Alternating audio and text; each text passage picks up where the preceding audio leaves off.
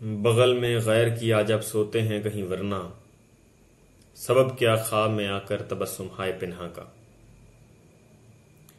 ਗਾਲੇ ਫਰਮਾਉਂਦੇ ਨੇ ਕਿ ਇਹ ਮਹਿਬੂਬ ਤੁਸੀਂ ਅੱਜ ਕੱਲ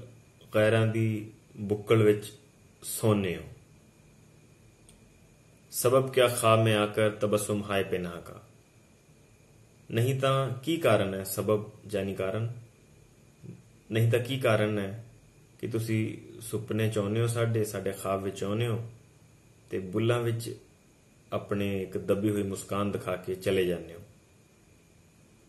ਇਹ ਸਮਝ ਨਹੀਂ ਆਉਂਦੀ